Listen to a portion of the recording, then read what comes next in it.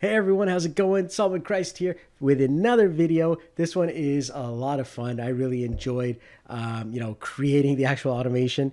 Uh, so many of you have probably been seeing, you know, all these AI slide uh, generation tools that are available out there.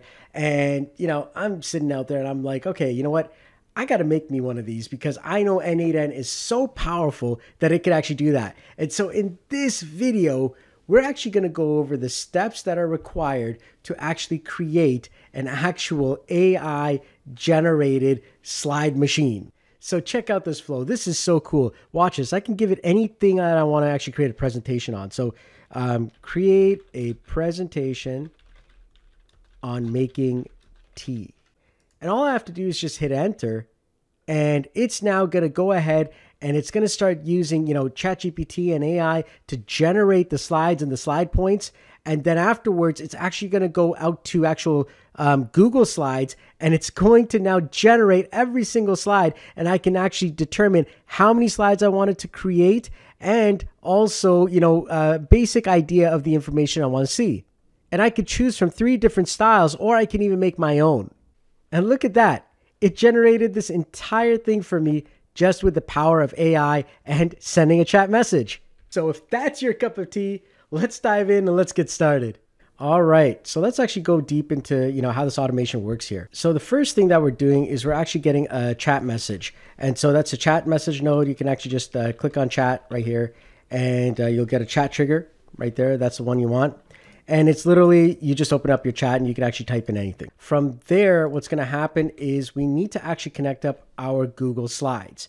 Now, if you don't have your Slides account connected, you need to connect up your entire Gmail and Google Drive system.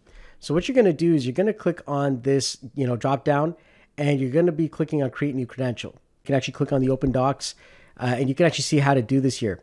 Specifically, what we're going to be doing is you're going to be going to Google Cloud Console and then on the left side here, you're going to see a lot of different things that are going on. Specifically, we need an API. So you're going to click on API services, all right? And you're going to be clicking on credentials. Now, what we're trying to do specifically is we're trying to get to an OAuth 2 client ID. And so to do that, you're going to have to click on create credentials here, and you're going to be selecting the OAuth client ID. Once you click on that, you're going to see application type here. You want to select web application. Now, if you don't see this, chances are you just have to set up your account. That could be adding in billing and all that information there because it may actually um, run up certain fees. But for the most part, I've never really had to pay, you know, for the actual access. However, if you start using it a lot, you will have to pay. All right, and then you're gonna name it whatever you want. In this case here, you probably want to name it like N8N Access or something like that. So at least you know what it is. And then once you get that set up, you're going to see here the authorized redirect URLs or URIs. You're going to click on add URI and inside of your actual N8N, you're going to click to copy this OAuth redirect URL and then you're going to paste that in here. And then you'd click on create. After that, you're going to see your client ID and your client secret. Make sure that you actually click on these because that's what you're going to need. So I'm going to click on my client ID and I'm going to go over here and you're going to paste that in. All right. And then client secret, once again, you're going to copy your client secret from here. And then you're going to go back inside of here. You're going to click on client secret. All right, so now from here, what's going to happen is we're still not done. We have to actually sign in with Google. And so you're going to click on sign in with Google. And uh, you're probably going to see this screen. So just click on the advanced button there. And then click on go to, you know, whatever it says. And then from there, you want to give access to everything that it's actually asking you. And now you're connected. All right, so now what we're going to be doing is we're going to be creating a presentation and the operation is create. Okay, so that's what this uh, actual node does. And then you just give it a title. So you can actually name it whatever you want. I just call it AI generated slide deck, but you can name it anything you like. The next thing is an edit or set uh, node. And we're just gonna, you know, set up the number of slides that we want. So you could change this to anything. I mean, if you want to do 100 slides, it'll take a little bit longer, but you could do that. Or if you want to just do 10 slides, up to you totally up to you. And that that's the nice thing is there's no limit to you know what you're doing here. And now comes the next part, and it's an interesting part here, is we're going into our AI agent. Now specifically, um, we're using ChatGPT, uh, G, you know GPT 3.5 Turbo, uh, but it's it's a simple prompt, and it says uh, you're an AI presentation builder. Given the topic, And so the topic is literally from the chat message. So uh, create a presentation about um, how rain is formed via condensation. Okay, you learned this in science class and so on. So there we go. It's going to run through that there. All right. So as you can see here, uh, it picked up that chat message there. All right. So create a presentation. And as you can see, that's the given topic. And then a slide count of 10. So in this case, this is from our actual, you know, edit field. And so you can actually see that. And uh, it says generate a slide by slide breakdown of slide titles and bullet points in JSON format. All right. Each slide should contain a title, a subtitle, and at least five detailed bullet points. And then the format that we're expecting it to output is exactly like this. So title, subtitle, bullets. Okay, that's it. And so now that goes into ChatGPT as, as well. And the next step is it's now going to get cleaned up inside of the code because chances are it came out as like an output. And so we need to make this into JSON. And so that's what this little piece of code does is it takes it, it parses it as JSON, and then it literally just returns it back as JSON uh, slide data. So you see title, subtitle, bullets for each slide. All right, and it's all there, which is great. But now what I need to do is um, if it doesn't do that, if it has an error, well, then I'll tell it to go back again. Now, this is really interesting is uh, inside of N8N, there's something called a run index. So if it has to do this more than two times, well, then it didn't work out correctly. And so I actually make it quit at that point. All right. But you could actually do that using run index. It'll tell you how many times this specific node has run. So it's a very powerful command. All right. So if it if it you know hits an error and if it if it actually hits false, it'll do that up to twice, and then it'll kind of like quit the entire app. All right. So now comes the fun stuff. Okay. It's now found 10 slides. And now what we need to do is to each slide, we need to add in an additional item. And so at the top left of these generated slides is a little message. You could put down anything you want. I put in n8n.io and solomonchrist.com, but you could put in whatever you want as your business name or information. All right. So in this case here, that's how I designed the slides, but you can design slides any way you'd like. You just have to use things like Perplexity and Claude to actually, you know, design the actual JSON. And um, it's actually um, Google Slides co- uh, code script, but uh, the JSON and, and, the system that does it. But uh, once you actually get that right, you're going to be coming inside of here. You're going to be checking out where it's located. One of the keys I want you guys to remember, especially when you're designing these slides, is that inches one inch is equal to 72 points.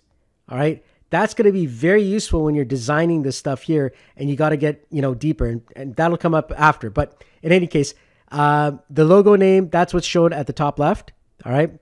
And then, of course, you got your bullet, subtitle, and title. So I basically added on to every one of these, uh, you know, JSON um, slides.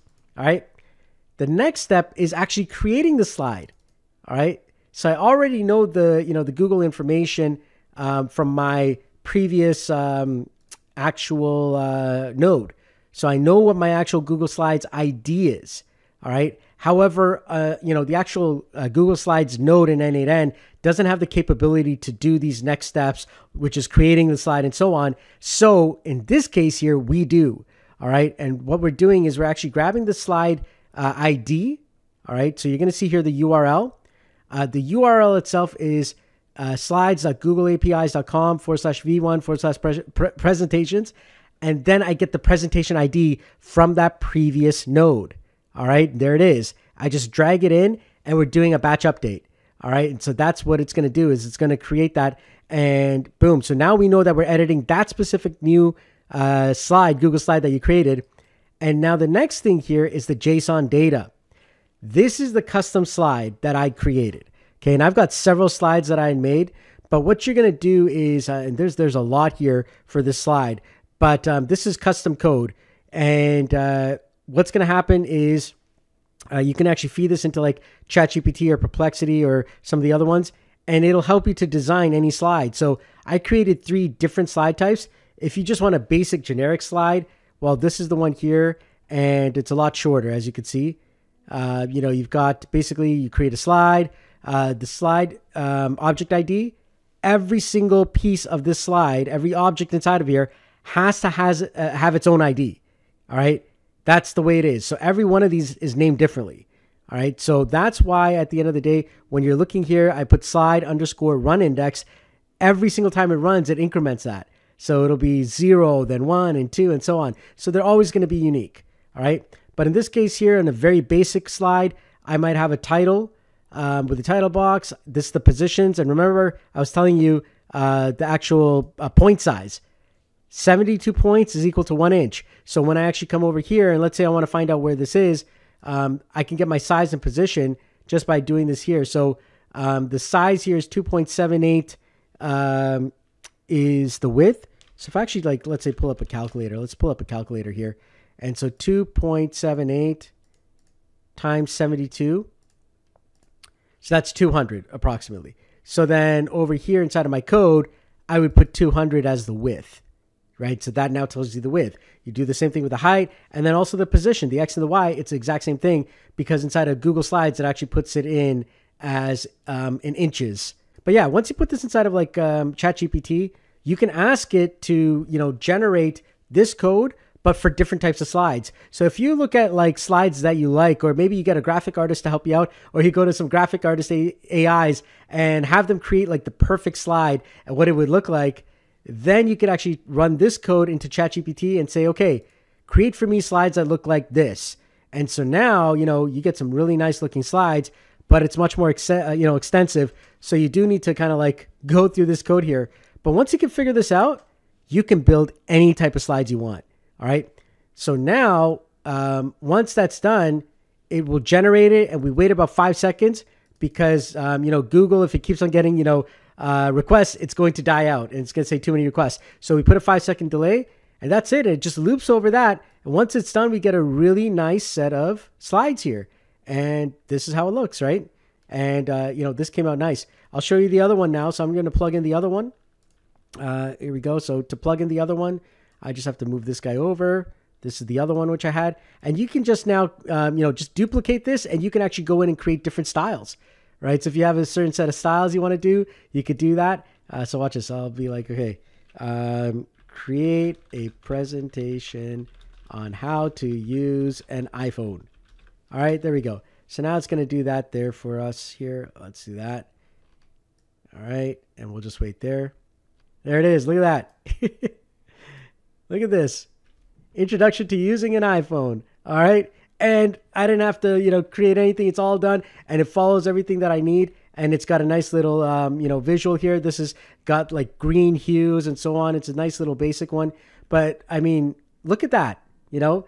and you think about all the different like systems out there that are actually some of them are charging like a good 50 to 100 dollars now of course some of them have you know much nicer slides but the fact that we can actually do this creating a presentation fast. And now you can actually design your own slides with a little bit of like, um, you know, uh, code there. But the point is, we now have this and you can do this with n8n and the power of n8n it's, it's just incredible every single time and there you have it you know it's uh it's an incredible incredible workflow there uh, and it'll save you time and money it'll get you up and running and uh, you know if you are interested in learning more about ai automations how you can build this stuff and being part of the overall ai community i urge you to join my Skool community also join the n8n community and be part of the actual um, you know overall community of ai automators so thanks for watching and I look forward to seeing you in another video. Take care. Bye bye.